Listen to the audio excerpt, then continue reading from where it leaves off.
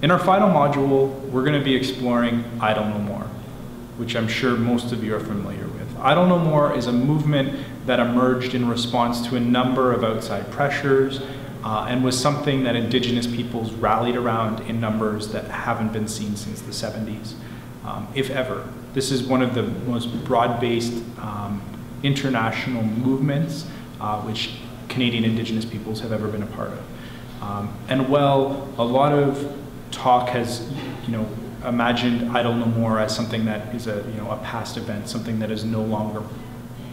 uh, an important movement, um, it lives on in many, in many ways that we don't often attribute to Idle No More. A lot of resistance has used Idle No More style tactics, has used the organizing networks that were formed in 2012 um, and 2013 for Idle No More uh, and have really transformed the way we do things. We're going to be looking at the different tactics that No More used, everything from social media to um, flash mob round dances in malls,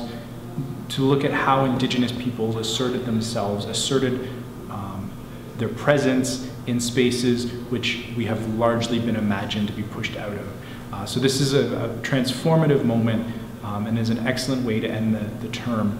and to really reflect on how indigenous peoples persist and how we're not going away anytime soon.